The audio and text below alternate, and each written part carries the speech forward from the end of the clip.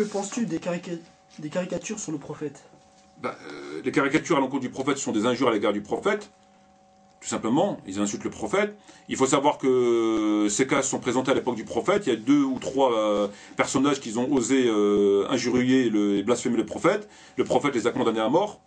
Ils ont été condamnés à mort, bon, ça on le sait, donc c'est des injures à l'égard du prophète.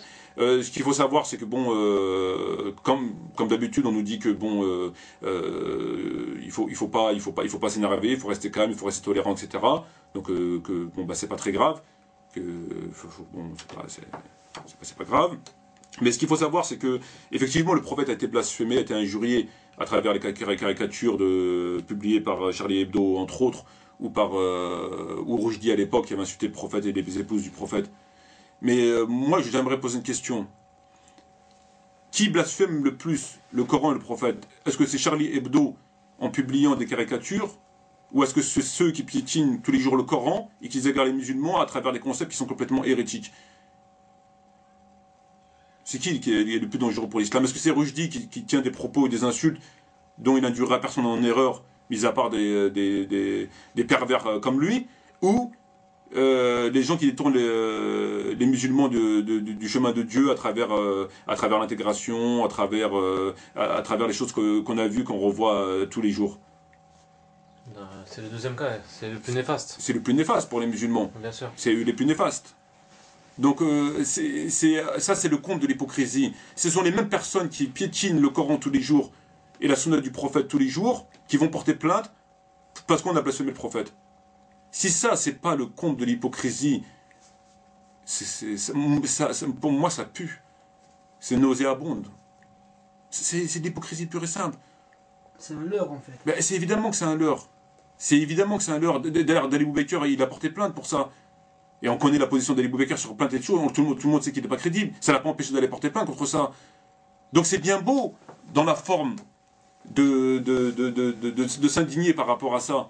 Mais qui c'est qui piétine tous les jours le Coran qui, qui, appelle à, qui bafoue les lois de Dieu, la morale de l'islam, qui, euh, euh, qui, ils ont fait quelque chose pour les musulmans à Guantanamo?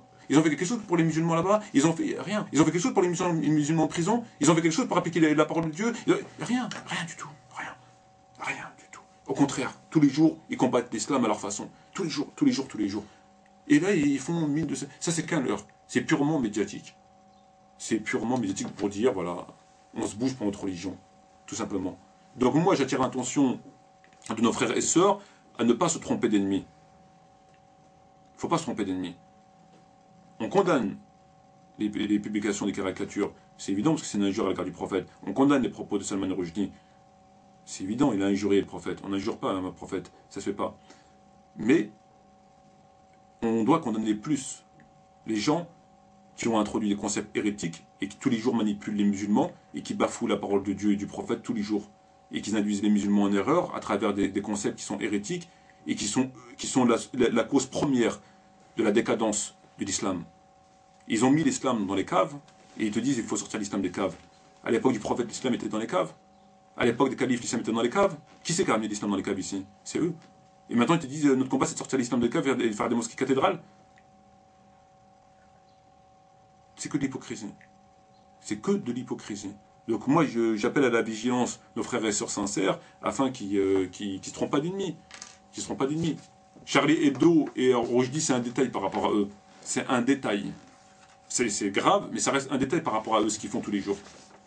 C'est clair que Salman Rushdie va pas induire euh, beaucoup de personnes en, erreur. Il a, Salman Rushdie n'a induit personne. Moi, si j'avais moi, si j'avais agracié entre Salman Rushdie et euh, les personnes qu'on connaît, je ne citerai pas de nom, je réfléchis même pas. Je réfléchis même pas. Salman Rushdie, il a induit personne en erreur, il, est pour rien dans la décadence de l'islam, il est pour rien dans la situation dans laquelle ils sont les musulmans, il est pour rien Salman Rushdie, il a injurié, c'est tout. Voilà, il a injurié le prophète. Voilà. Et au moins sa position est claire. Et au moins sa position est parfaitement claire, contrairement à la leur. Voilà.